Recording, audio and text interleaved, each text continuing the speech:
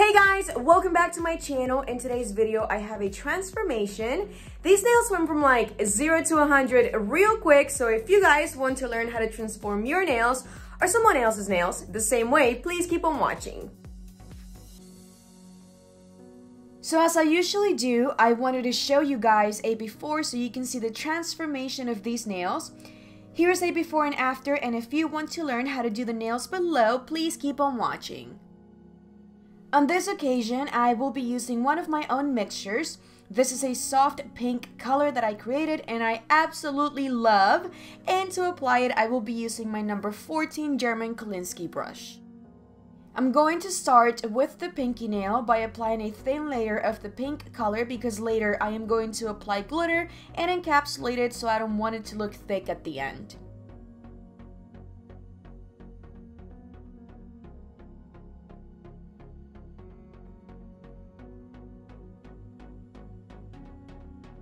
I am also going to apply a layer of the same color on the ring, the index, and the thumb fingernails, and I am going to repeat the same process to both hands.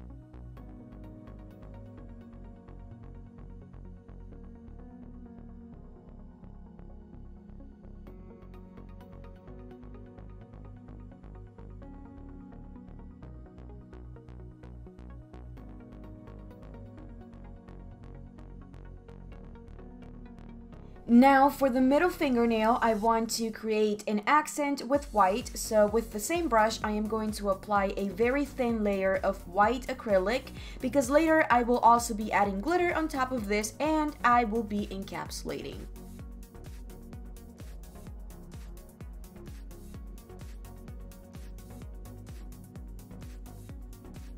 The glitter that I am going to apply is the same glitter that I used in my last video for my nails.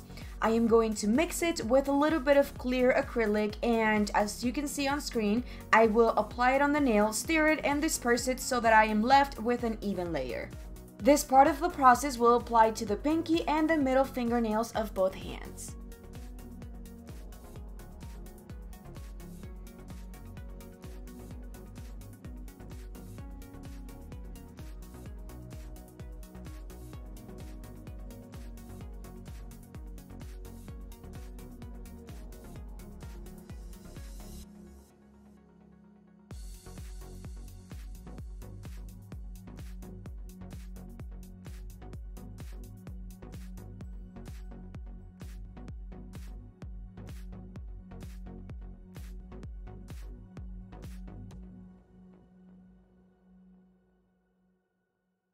I am now going to encapsulate all the nails using clear acrylic.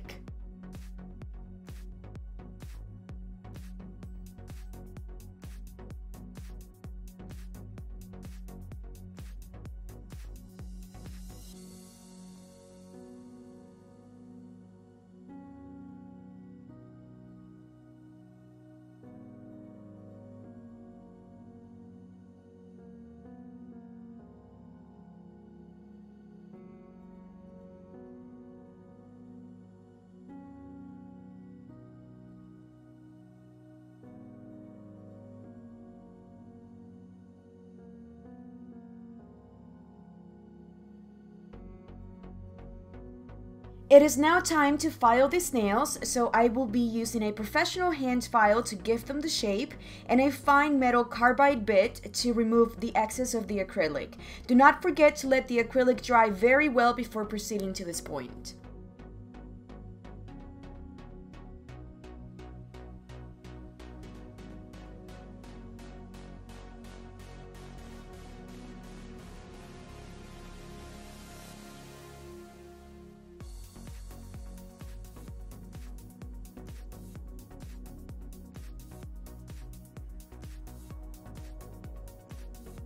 This is what the nails look like so far after filing and cleansing them very well. And now I will be applying a layer of gel top coat on the index fingernail. I will cure it under an LED lamp for 60 seconds. Then I will apply a chrome effect to give them a special touch and to make this design stand out much more. This effect is one of my favorites because it closely resembles the finish of angel paper with the difference that this one is much easier to handle. All you have to do is introduce your fingertip into the content, then rub the product on the surface of the nail after the gel has been cured. You can apply the amount that you prefer, however, I frankly prefer to make it look a little bit more saturated so that it gives more life to the design and the effect is more visible. I am going to remove the excess using a soft bristle brush. Then I am going to apply a gel top coat on all nails including the chrome nail and I am going to cure it under an LED lamp for 60 seconds. The only nail that I am not top coating right now is the ring fingernail because I am going to add 3D art later in this video.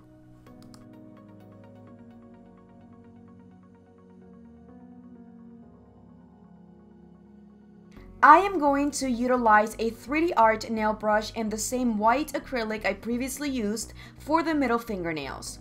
I am going to pick up really small beads of acrylic and I am going to apply them to create a 3D flower.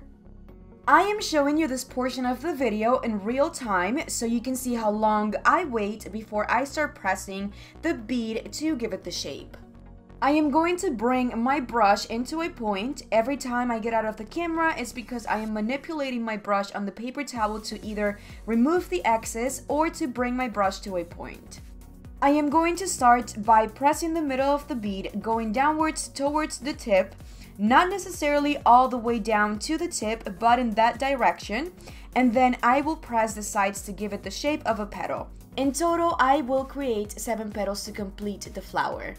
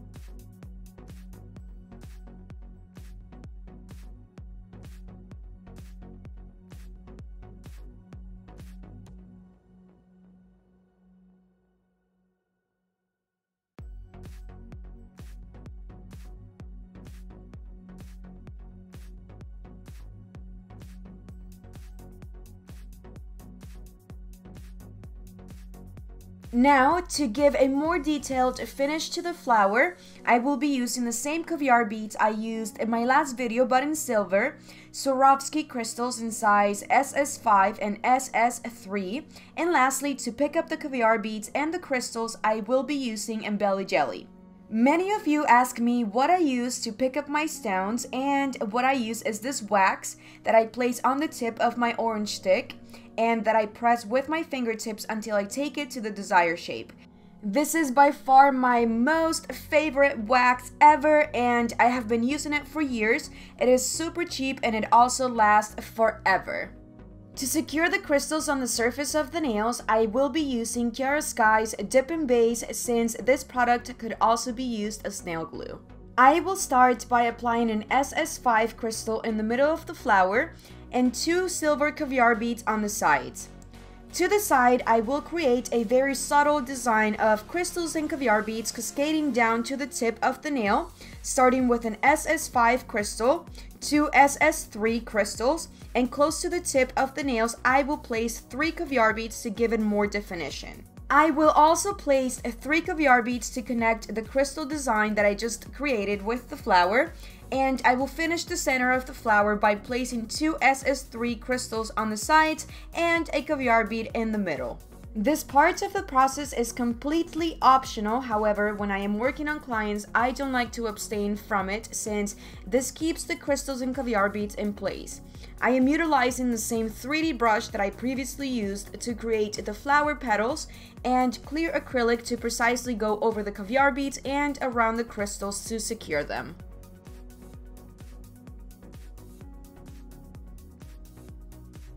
After allowing the acrylic to completely dry and after cleansing the nail, I am going to use a precision brush and the same gel top coat. I am going to apply the gel top coat on top of the pink part of the nail only, not on top of the flower or the crystals to prevent them from losing their texture and shine.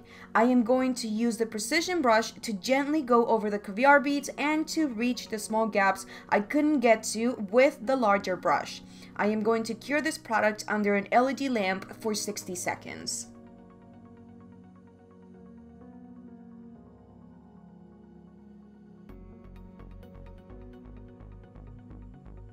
After curing, I am going to finish this job off by applying cuticle oil.